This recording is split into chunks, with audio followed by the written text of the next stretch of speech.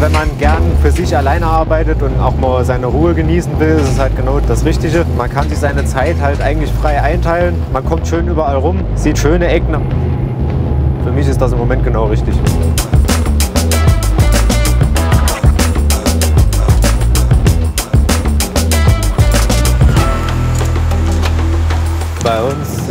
Neuer Fahrer bekommt man erstmal in der Firma die Grundkenntnisse erklärt und dann fährt man als Beifahrer auf einem LKW mit, mit einem erfahrenen Fahrer, der einem alles in der Praxis zeigt und erklärt, bis man es drauf hat.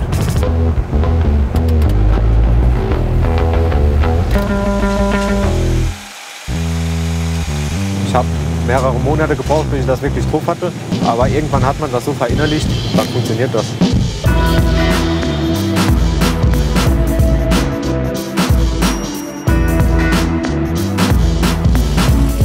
Anfang fährt man sehr, sehr vorsichtig, fährt nochmal fünfmal hoch, bremst fünfmal, steigt fünfmal aus und guckt, welches Auto ich wie wohin stellen kann. Von Höhe und Abstand, das ist am Anfang das Hauptproblem. Mit der Zeit weiß man das auswendig, wie man welches Auto wohin stellen kann. Und da fährt man ein punktgenaues Auto drauf.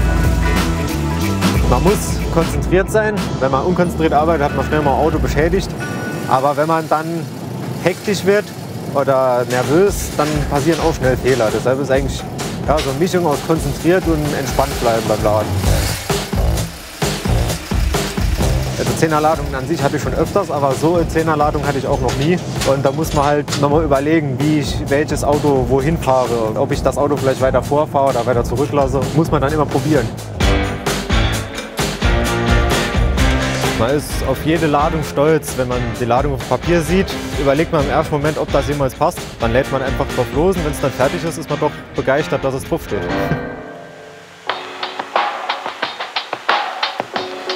Es ist schon eine besondere Herausforderung. Wir reden hier über Spezialtransporte im Fertigfahrzeugsektor. Also es gehört natürlich eine gute Übung dazu, eine gute Qualifizierung.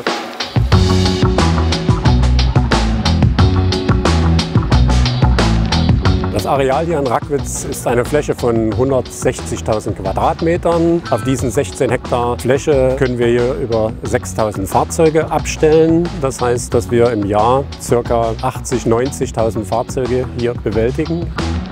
Das ist natürlich immer eine Herausforderung und das macht ganz einfach auch persönlich für mich die Situation aus, dass man das sehr, sehr gerne macht.